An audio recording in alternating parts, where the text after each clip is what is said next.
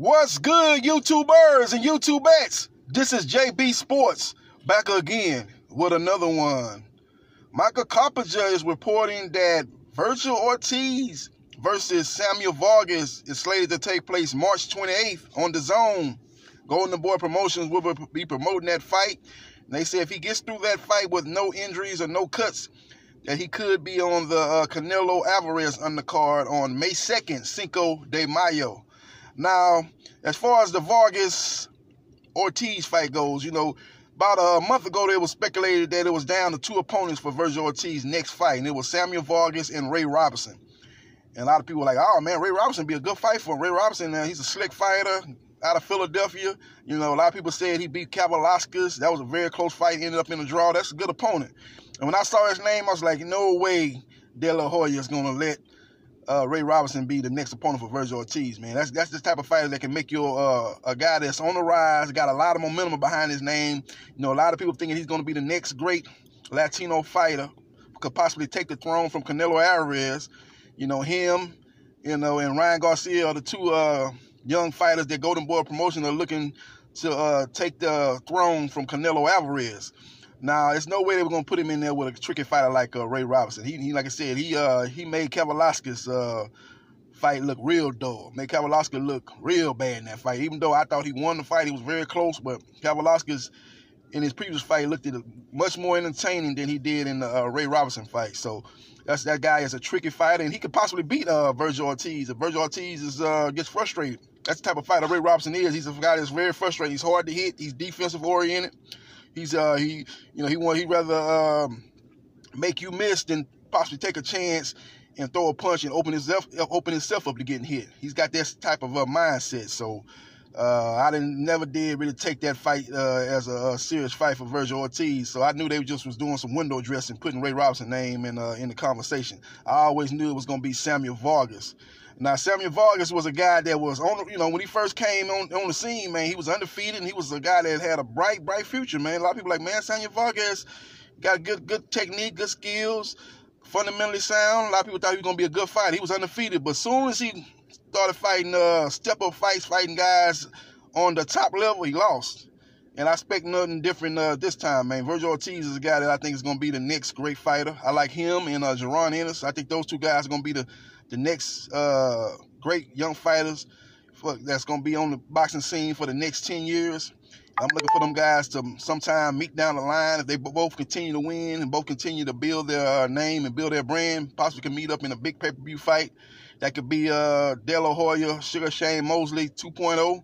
It could be on that uh, type of uh, caliber of a fight if it's uh, properly uh, done right by, by uh, Golden Boy as far as um, uh, Vergil Ortiz goes and Jaron Ennis, if he gets behind a, a, big promotional machine behind him, you know, PBC or you know top rank, one of those two guys, man. But that's that's neither here nor there right now. That's something that's you know down the line that could possibly happen, man. But as far as uh, Vergil Ortiz goes, I always knew it would be Samuel Vargas, man. It's a uh, it's a decent fight, man. Ray Robinson would have been a much trickier, much more uh, to me a much tougher fight for Vergil Ortiz. But I can understand. I understand why Golden Boy promotion went into this direction, man. The last thing they want to do is kind of uh, stunt the momentum that Vergil Ortiz has right now. He's he's he's uh he's uh he's he's uh, got a lot of momentum, a lot of momentum behind his name. So I think Samuel Vargas is not a bad opponent, but he's an opponent that, like I said, every time he he had a step up fight, he lost. You know, he was he was a guy that was a highly thought prospect about about five five years ago. He's a highly thought up thought of prospect but then, like I said, when he stepped up in competition, he lost every time. So, you know, he's not a bad fighter, but he just there's levels to this in boxing. Like Floyd Mayweather says, levels to this, and he's just a uh, he's basically a C plus level fighter, Samuel Vargas. Nothing more, nothing less. He's not even a B level fighter. He's not even a B B level fighter. I look at it as like Daniel Jacobs, you know, fighters like that. Them, them B level fighters. He's not even on that caliber, man. He's more like a C plus C uh, level type of fighter. And uh, but it's a decent uh, step up for uh, Vergil Ortiz, who will be representing the great state of Texas, as he'll be looking to put on that fight. That fight is slated to take place against him and Vargas. It's slated to take place in Inglewood, up to no good. Dr. Dre said in his, one of his uh, hit songs back in the day. They're going to be going down there in a new forum in Inglewood, California. So we'll see what happens March 28th. So And like I said, if he's able to get through that fight with no injuries and no cuts, uh, Golden Boy could possibly put him on the undercard of um, Canelo's fight on May 2nd, Cinco de Mayo. But that's the breaking news I got for you guys. And uh, I got another little, little tidbit. Ray Robinson. The reason why, another reason why he ain't getting the fight was Golden Boy is not, um, Golden Boy wasn't looking to uh, put uh, Vergil Ortiz in a fight like that. That's too tricky of a fight. A veteran, a guy that, like I said, will make you look bad if even if you do beat him. I, I don't even think Golden Boy was looking to uh, put Vergil in that type of fight right now. Now, if he gets by Samuel Vargas, maybe he can look at Ray Robinson. Maybe, but I doubt if they even uh, look at him even after the Vargas fight. Definitely ain't gonna put him on uh, him and Ray Robinson on the undercard of uh, Canelo May second fight. You know, it'll be a much uh, easier opponent. On the, oh, it'll be a much easier opponent. And it'll be a showcase fight for Vergil Ortiz. You know, something to get him to look good, devastating knockout, and something to continue to push, push the momentum and push, push the narrative that he's the next big thing at Golden Boy guy that could possibly, uh, along with Ryan Garcia, could possibly take that throne from Canelo Alvarez and carry that Latino uh, crowd and fan base, you know, and ultimately uh, carry that mantle from uh, Canelo Alvarez. But I'm hearing uh, Ray Robinson. Just a little tidbit that you might not gonna hear about it on, uh, on other YouTube channels. Ray Robinson, don't be surprised if Ray Robinson could be a possible opponent for Terrence Bud Crawford. Terrence Bud Crawford gonna have to fight somebody. It's not gonna be Shawn Porter. It's not gonna be Kell Brook. It's not gonna be any of those two guys. Now they were they, they, they said they were looking at somebody that was in the you know top ten of the WBO, but if you look at the WBO, man, they got a bunch of no names and who's who's and who's who's that on their list, man. They can't sell it after another Eagles Kavaliauskas. Now they can they can sell a Ray Robinson fight because I think Ray Robinson I, I don't think, but I know Ray Robinson beat Terrence Crawford in the amateurs. So it'll be a, uh, you know, it'll be something that uh, Ray Robinson will be able to talk that up and say, well, I beat you in the amateurs, I can beat you in the pros. And uh, I think that could be a possible fight. He's a guy that's, like I said, it's hard to look good against. So he would, so uh, if um, Chance Crawford can stop him and knock him out, that would be a uh, a good notch on his belt, man. Because I think the only person that really, really dominated Ray Robinson was uh uh was Ugas.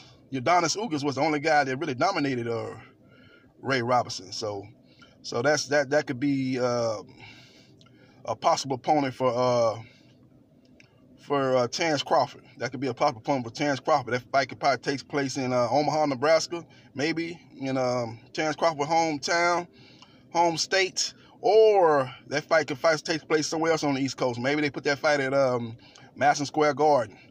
You know, I, I don't think it'll be in Philadelphia. That's where Ray Robinson from. But that fight is definitely going to be either on the East Coast or be in uh, be in Nebraska, uh, in uh, either in Omaha or Lincoln. So be one of those two uh, facilities. Is, is, what I'm hearing, man, about that fight though. That's a possible opponent. I'm not saying it's some set in stone, but that's a possible opponent for uh, Terrence Crawford. Is uh, Ray Robinson.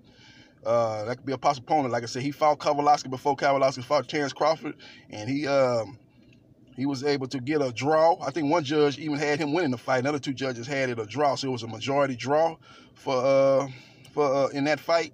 So uh, he could he could sell that and then sell again. The idea that he already beat um, Terrence Crawford in the uh, amateur, and Terrence Crawford be looking to get his revenge in the professional. Let everybody know that he's he's great, great, great better fighter, miles better, miles better than he what he was miles better than what he was in the amateurs. He's he's he's a, he's a, he's a much much much better and much much improved fighter since then. And it'll be a whole different story when we meet up uh, in the professional ranks. So that could be something that they can sell. I think both of them have a history. You know, Ray Robinson does do a lot of talking and stuff.